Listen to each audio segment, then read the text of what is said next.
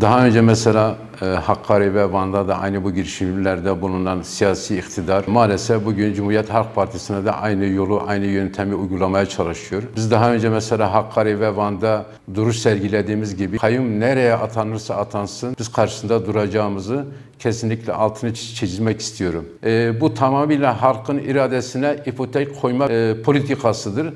Ee, biz bunu hiçbir şekilde kabul görmüyoruz, uygun da görmüyoruz. Ee, Kayımlar kimden gelirse gelsin, hangi belediyemize bizden olsun olmasın, hangi belediyemize veya de hangi kuruma kayım atanırsa biz bunun karşısındayız. Halk seçmiş bu insanları. Halkın seçmiş olduğu bir belediyeyi sen kayım e, adı altında bu şeyi uygulayamaz. İstanbul Esenyurt Belediye Başkanımızın halkın her iki insandan birinin oyunu almış olan bir belediye başkanımızdı. Düne kadar suçsuzdu. Seçimi kazandıktan sonra suçlu duruma düşmesini e, biz kesinlikle biz bunu kabul etmiyoruz. Tamamıyla bir siyasi iktidarın e, rant peşinde veya da politika peşinde olduğunu belirtmek istiyorum. 10 gün önce ee, AKP Genel Başkanı Sayın Recep Tayyip Erdoğan çıkıp ülkeye yumuşama gelmesi gerektiğini söyleyince Sayın Genel Başkanımız Özgür Özel de aynı bunu desteklediğini, tamamıyla biz bunun arkasında durmamız gerektiğini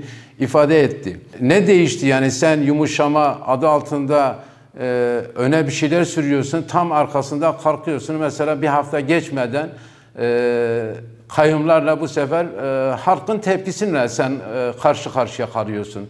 Vatandaş artık bu saatten sonra Sayın Recep Tayyip Erdoğan'ın söyleyecekleri hiçbir şeye itibar etmez, inanmaz. Çünkü niye? Kendisi bir hafta önceden yapmış olduğu e, söylenmenin arkasında durmayışının şeklidir bu. Süreci takip edeceğiz. Sürecin e, akıbeti ne olursa olsun. Sayın Genel Başkanımızı vereceği direktifler doğrultusunda il örgütü olarak e, hareket edeceğimizi belirtmek istiyorum.